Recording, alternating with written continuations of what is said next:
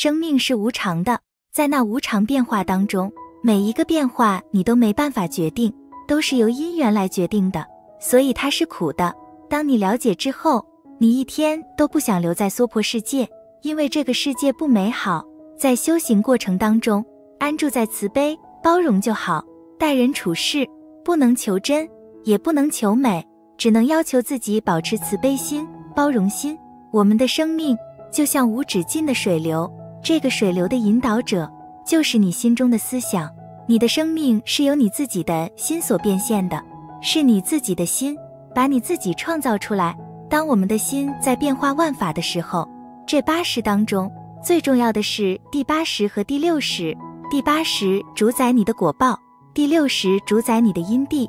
我们的生命有二个内涵：第一个承受果报，第二个造作业力。第八识把这个果报变现出来，所以才有独立的生命体，可能是男众，或是女众，或者庄严，或者等等。是谁变现出来的呢？就是阿赖耶识自己变现出来的，这跟别人都没有关系。所以你长得怎么样，事实上跟你父母没有关系，那是你自己的阿赖耶识释放出来的。当你有了这一期的生命，你就会在这五蕴身心当中捏造一个自我。所以，我们所说的我，其实就是以这个果报体为我，以五蕴为我。我们之所以产生我的概念，这个我是第七识捏造出来的。所以第七识很特别，它不变现果报，也不造作业力，只做一件事，就是把这个果报体捏造一个我出来。有了这个我之后，就有第六意识，以这个自我为中心，开始去了别六尘的境界，色、声、香、味、触、法。产生很多不同的感受，有快乐的感受，痛苦的感受。第八识把这个果报变现出来，第七识产生一个自我的想法，然后以自我为中心。第六识开始去受用六尘，产生快乐、痛苦，这个叫做承受果报。当我们在承受果报时，同时又造作新的业力，这跟来生有关系。第六识在承受快乐、痛苦的时候，产生一个想法。这个想法可能正确，也可能错误。如果他产生的想法是及时行乐，那就不好。这个人要修善就很困难。如果生命的目的是在及时行乐，那他可以不择手段来让自己快乐，那会伤害很多人，造很多罪业。如果他的想法是今生痛苦或快乐不重要，来生比较重要，我是为来生而活，那这个想法就正确了。这种人就容易去要求自己断恶修善。当你的果报出现，第六意识去了别外境的时候，所产生的快乐、痛苦，又让你产生另一个想法。这个想法当然跟你过去所学的圣贤之书，你体验多少有关系。第六意识的想法，由于第七识使令它更加坚固，然后再回存到第八识，又把它熏进阿赖耶识当中，所以第八识它变现了果报。让第六识来受用，第六识受用之后，又造了新的业力，又把它存回到第八识，就构成生命的相续，业果的相续。为什么你今生死了之后还有来生呢？因为你今生在受用果报的时候，又造了新的业力，这些业力又创造来生的果报。当第六识在承受果报，同时在造业的时候，有两种选择：一，如果我们心中没有目标。想做什么就去做什么，造恶也无所谓，造善也无所谓，那就由外境来决定。到清净的环境你就造善，离开寺院到外面去你就造业。二，当一个人学佛之后就不同了，第六识有作意的警觉功能，就懂得如理作意，不管外境怎么变化，我一定要断恶修善度众生，是由作意来引导的。我们是怎么来承受过去的果报？第一。相由心生，我们不是今生才有生命，我们已经经历了无量无边的生命，而这些生命，凡是走过的路必定留下痕迹，这个痕迹就是种子。虽然你的生命结束了，但是在这一期生命当中，你所造的善恶种子都被保留下来，都被谁保留下呢？是阿赖耶识。我们每一次生命都留下很多的痕迹，有善的痕迹，有恶的痕迹。当这些业力成熟时，有些人到天上去，有些人到人间去，有些人到三恶道去，有些人到涅槃去了。也就是说，我们今天为什么会招感果报呢？是因为我们过去造了很多的业力，这些业力就不断出现这些差别的果报。这六道众生，像地狱、恶鬼或是畜生、人、天，为什么有这么多差别的果报呢？各随其心中的业力种子而出现它相应的果报。这个果报是你自己的心把它创造出来的。为什么同样的环境，我们的心同时去接触，会产生不同的感受呢？就是因为每一个人的福报不同。我们是在受用什么东西呢？你是受用你阿赖耶识所变现出来的一切。我们今天在承受果报的时候，唯独做一件事情，就是忏悔自己的业障，认命忏悔，不要在果报上做太多的努力，因为这些都于事无补。当阿赖耶识在变现果报的时候，不会因为你讨厌它，它就停止；也不会因为你喜欢它就多一点。它跟你的想法完全没有关系。阿赖耶识。它该放多少就放多少，等业力结束了，它也不会多放一秒钟。所以，我们面对果报，只有两个字：认命，也就是应无所住。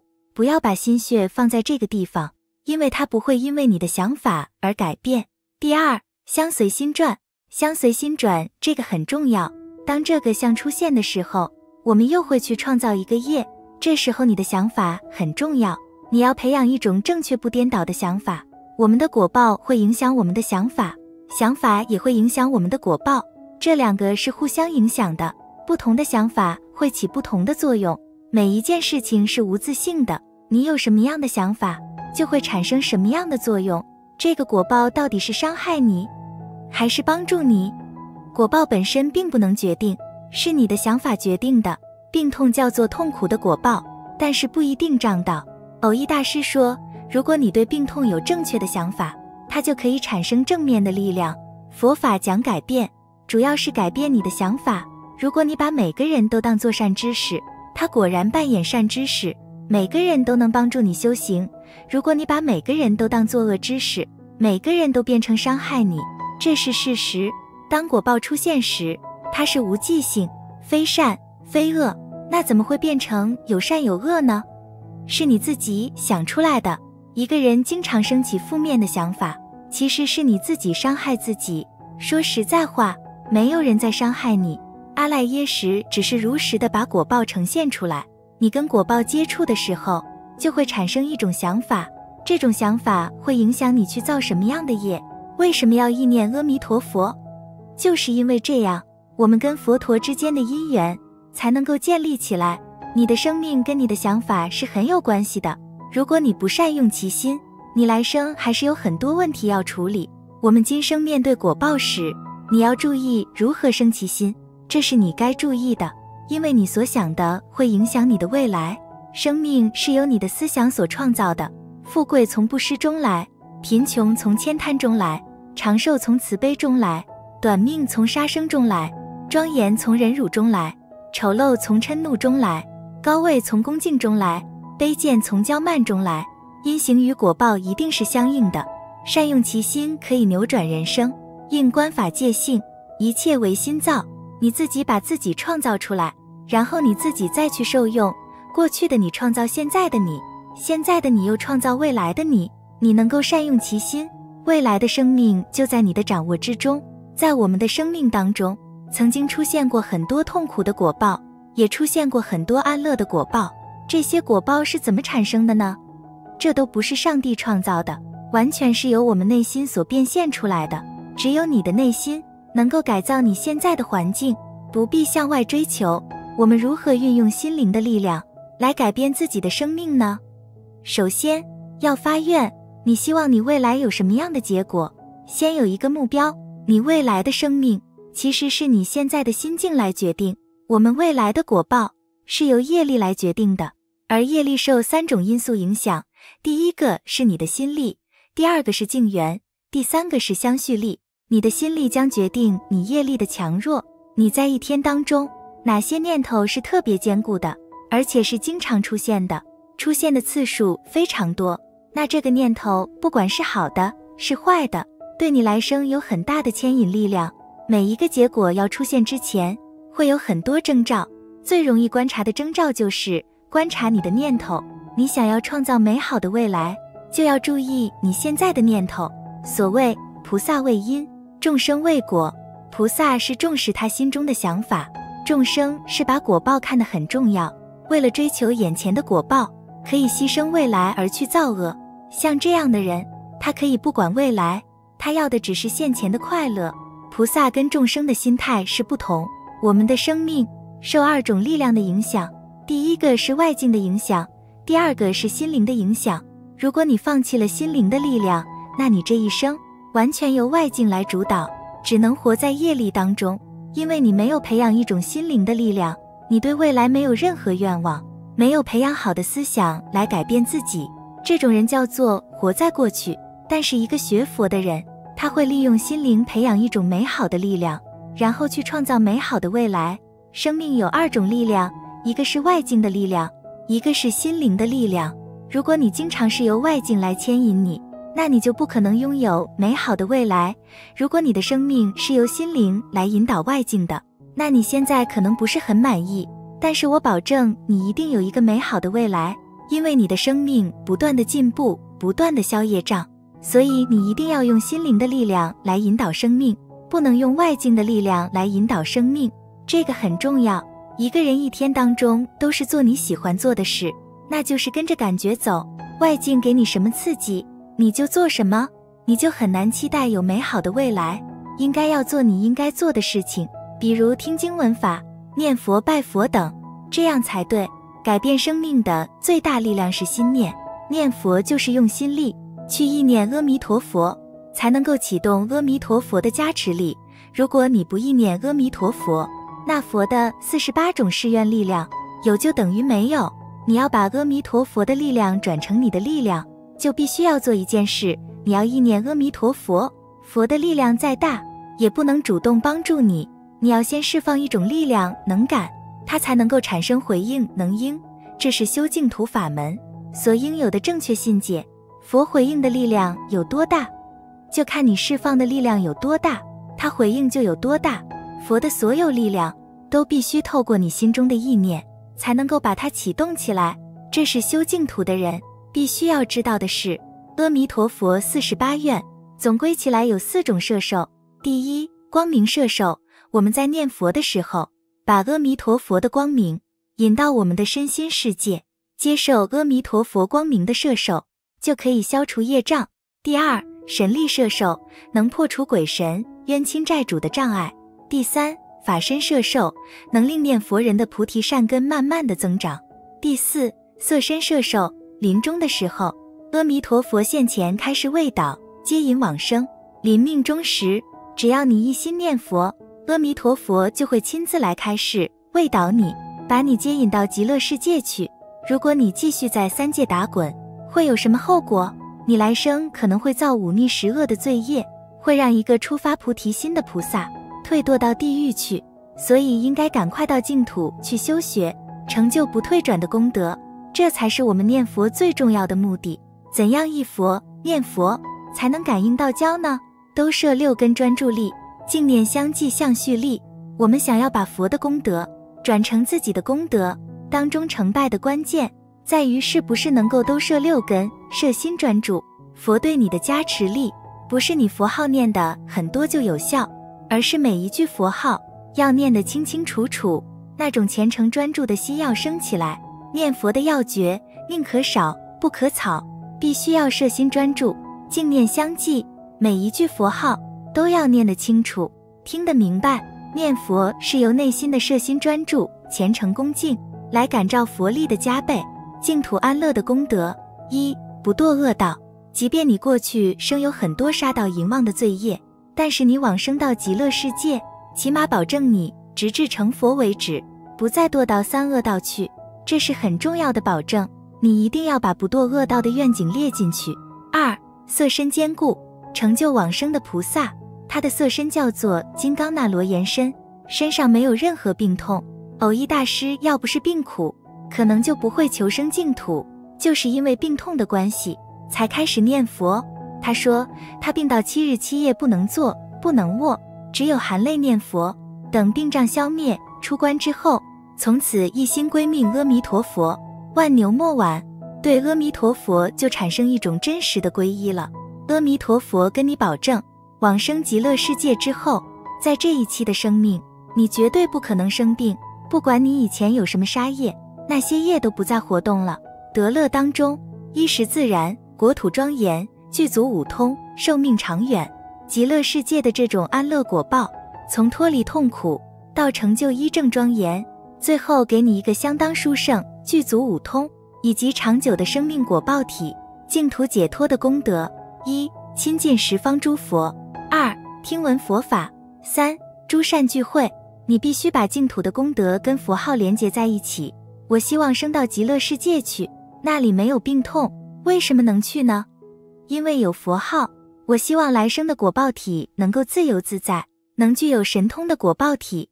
总而言之，你必须把来生的愿望跟心中的佛号联想在一起，这时候你对佛号才能产生强烈的皈依。为什么念佛的时候，有些人的佛号很容易一持得住，有些人的佛号念没多久就跑掉了？就是因为你对佛号没有产生与功德关系的联想。当它只是一个佛号，一种声音，那你对它似乎是可有可无。根本没有对佛号修皈依嘛。如果你对佛号没有产生功德联想，这个佛号你是念不住的。你必须把你未来往生净土的愿景跟佛号紧密的连接在一起，这样的佛号意义就重大了。你必须告诉你自己，离开了佛号，你就一无所有。修净土宗的人想要把佛号念好，首先对佛号必须升起一种强烈皈依的心。你要观想自己是业障凡夫。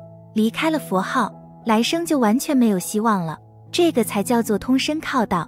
如果你把未来的希望全都寄托在这句佛号上，我保证你这个佛号一定能念得好，而且也可以把弥陀的功德全部启动起来。净土宗的中心思想，我今暂做娑婆客，不久莲池会上人。如果你真能把今生当做最后的客人，不久即是莲池会上人。当我们真实想要往生极乐净土。就加强心中的意念，一心归命阿弥陀佛。我们来生有两个选择：一，继续留在三界六道之中打滚，那你要继续面对烦恼障、业障、报障，其结果充满了变数；二，往生极乐世界。极乐世界有很多的功德，不堕恶道，没有病痛，有种种医正庄严、三宝的加持。要经常把极乐世界的功德放在心中。念佛人要思维我是业障凡夫，无有出离因缘；要思维阿弥陀佛有大誓愿，决定可以救拔我。总之，首先要建立你未来的愿景，你希望以后如何如何？未来这些目标都是因为有佛号的关系，才有办法来完成。你平常就要有这样的心态，离开他你什么都没有。见见鸡皮鹤发，看看行不隆中，假饶金玉满堂，难免衰残老病。任汝千般快乐，无常终是到来。唯有静路修行，但念阿弥陀佛。纵然你用很好的东西来保养你的色身，结果色身还是让你失望。为什么呢？渐渐鸡皮鹤发，脸皮的皱纹出现了，白头发也长了，体力也衰退了，行动也隆中缓慢了。因为色身也是无常法，终归败坏。如果你把精神体力放在财宝，假饶金玉满堂。难免衰残老病，就算累积了很多财富，生病的时候什么也不能受用。你把你的生命寄托在你的眷属，虽然你有很多美好的眷属，会给你带来一时的幸福快乐，但是当死亡到来的时候，各奔前程，各分东西，都只是暂时的相聚而已。所以把精神住在今生，临终你一定会后悔的。应该唯有静路修行，但念阿弥陀佛，应该把精神。体力放在佛号上，去创造一个美好的未来，这才是有智慧的抉择。心灵的力量很重要，就看你如何去引导你自己。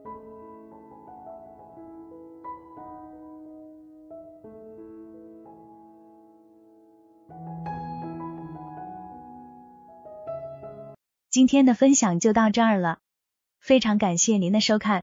还没有订阅的朋友，记得一定要订阅。我们下期不见不散。